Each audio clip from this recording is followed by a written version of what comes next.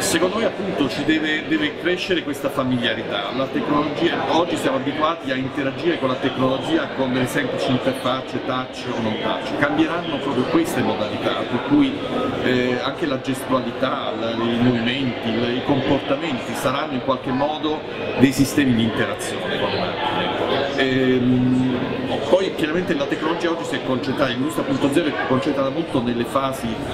prettamente produttive, bisogna lavorare a monte nelle fasi creative, eh, quindi progettuali, che poi si trasformano in progetto e in produzione. E nelle fasi finali in cui appunto fosse oggi possibile eh, lavorare in linea con i principi della sostenibilità ambientale, con life cycle design, in cui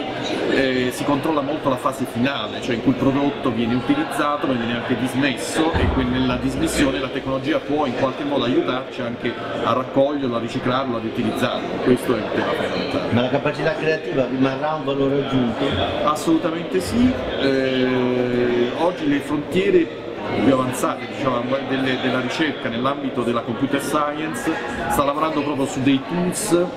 intelligenti a disposizione della parte creativa. E è molto meno interessata paradossalmente alla parte eh, robotica e produttiva perché quella è già avanti, al limite eh, bisogna solo entrare in una logica in cui l'intelligenza non è più puntualizzata e concentrata nel robot ma è distribuita nello spazio e quindi in realtà eh, ci sono tante eh, periferiche ma tanti elementi che contattano, un'intelligenza che si ripartisce su una, una serie di, di oggetti e quindi c'è una questione che è legata al controllo e alla gestione di questo, ma le, le, le questioni che oggi interessano